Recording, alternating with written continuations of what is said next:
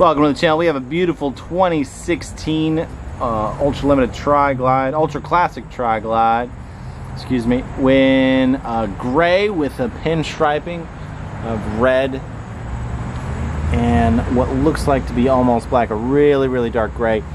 Really cool uh, coverings on the uh, on the fenders here. In between bags. Weight limit five pounds. Cup holders. uh, this is my first time on the job. I think this is a Honda. No, I'm just kidding. This is a 103 twin cam engine on a Harley Davidson Tri-Glide. It's absolutely beautiful. Uh, last year for the twin cam. It's got uh, a cup holder in the front and a phone holder as well. Uh, the mileage is 7,522. Uh, it is part of the Project Rushmore, which opens the uh, wind flap here.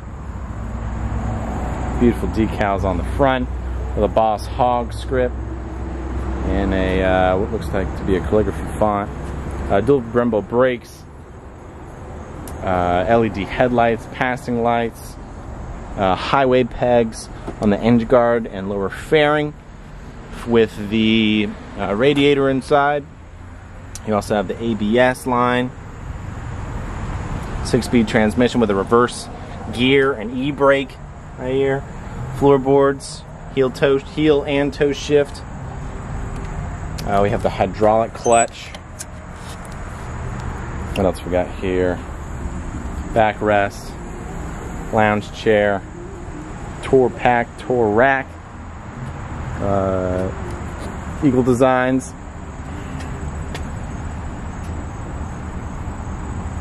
and of course the trunk which is again designed with the Boss Hog. The cover is in here, plenty of space. About 50 pounds can fit in there comfortably.